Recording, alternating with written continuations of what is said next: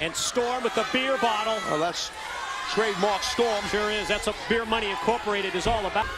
Oh, God! He blew a fireball right in the face of Jeff Hardy. That's, that, that can't be beer. That- that's some type of flammable liquid. What the hell was that? What the hell was that? Oh, my... That was, it was obviously premeditated. That's what that was.